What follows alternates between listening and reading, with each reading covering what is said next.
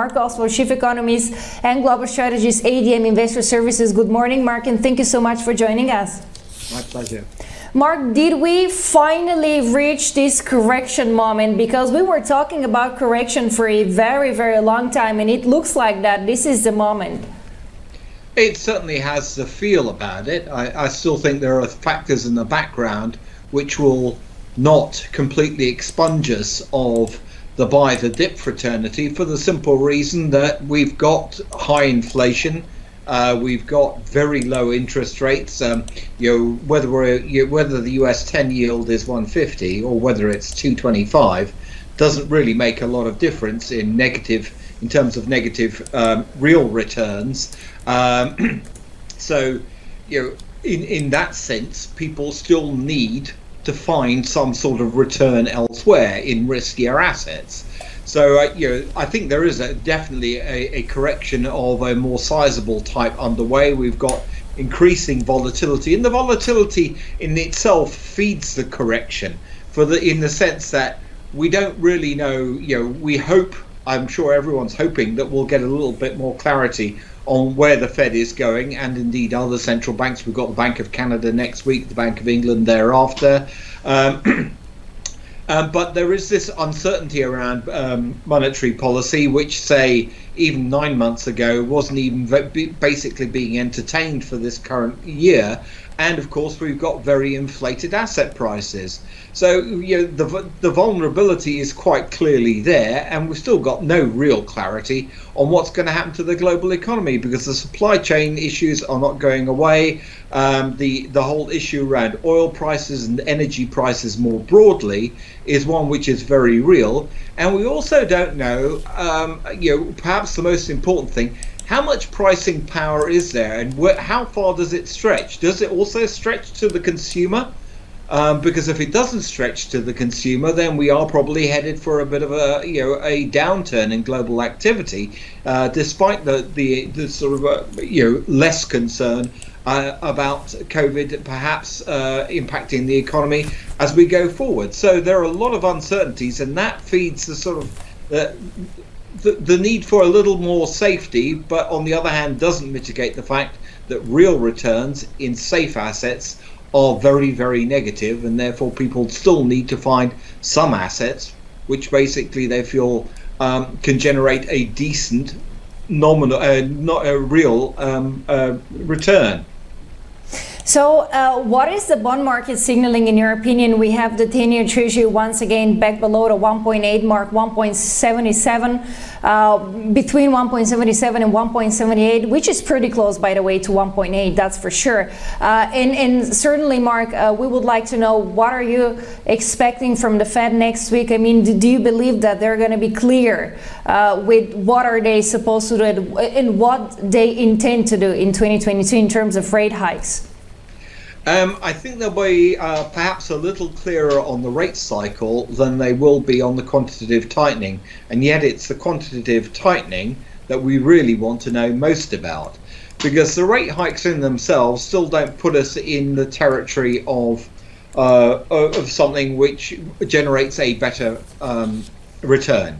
Yeah, the rate hikes were effectively 180 tells me we've got um, three rate hikes priced in, uh, probably a flatter curve. The bond market's also basically saying if you look at sort of where the bond market is basically telling us that the end trajectory, the final point for the Fed rate hike cycle is going to be, which is around 177. It's basically telling us, well, you know, if they hike rates even quite substantial, not substantially, we're going to knock the economy into a recession. So the bond market's saying you can't actually go too far in your efforts to try and contain inflation, and probably also telling us that markets don't really believe uh, that inflation is going to be a permanent problem throughout the year. I think that's a matter for some debate. Um, you know, we can't establish that, and I don't actually believe that a lot of the problems that that, that are there, which gives uh, give underpin inflation, are going to change that. So, the Fed, I, I suspect, will basically um, outline a, a, path which looks at uh, basically says, um, you know slightly higher one than they were projecting in in, in December. Um, remembering, of course, that we don't actually get a fresh set of forecasts at next week's meeting. That's an important point to make. So all they will basically be saying is we see it higher.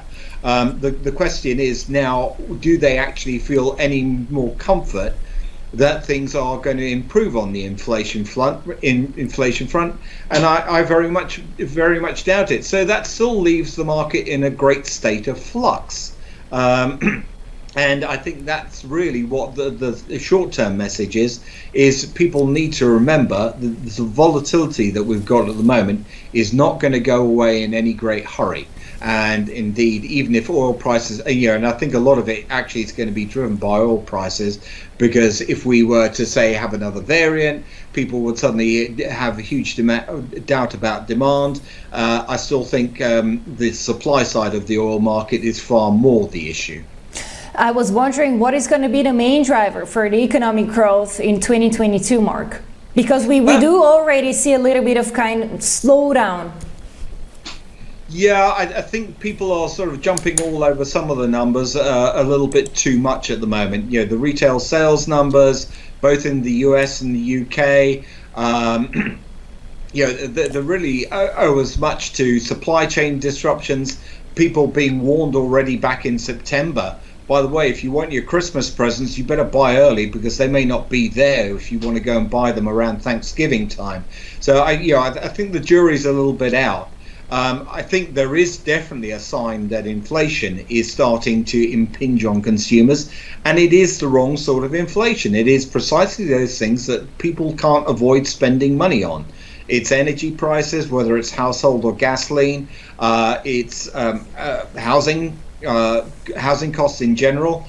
Um, it's food prices, uh, particularly acute in the UK, um, um, and so we're at that point basically where uh, I still think there's a lot of pent up demand out there. We basically a lot of the the strength of GDP that we expected for 2022 didn't really quite get completed. So we've got very low inventories in pretty much anything one cares to think of. We, you know, we still know that there are supply chain problems in the auto sector. The automakers are still basically postponed. So there's still a lot to underpin it out there. The question is, I think, basically, at what point might we get something which equates to demand destruction simply because of the level of the, the, the sustained level of inflation that we're getting? Um, and how that discourages people um, from you know doing what they would expect to normally to do, rebuild inventories, for example, for consumers basically to revert to a more normal lifestyle, um, but then suddenly find that actually they haven't got as much money in their pocket.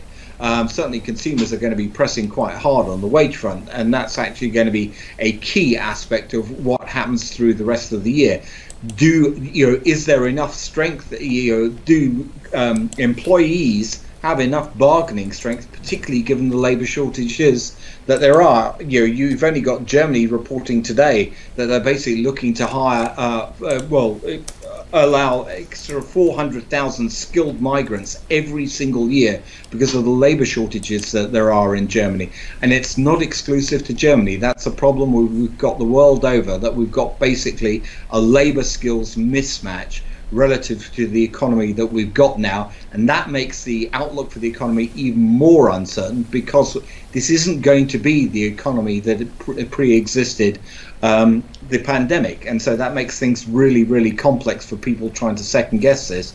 And it's, you know, in a, in a word to the wise, I would suggest people don't go for big predictions at the moment because it's a very uncertain outlook. And I think the most important thing we, will only establish in the second half of the year is how much productive capacity, we've seen it in the oil industry, but we need to see more broadly, how much productive capacity has been lost due to the pandemic. Well, that's that's a pretty important point. Thank you so much, Mark Oswald, Chief Economist and Global Strategist, ADM Investor Services. Thank you for joining us and have a great weekend. Thank you.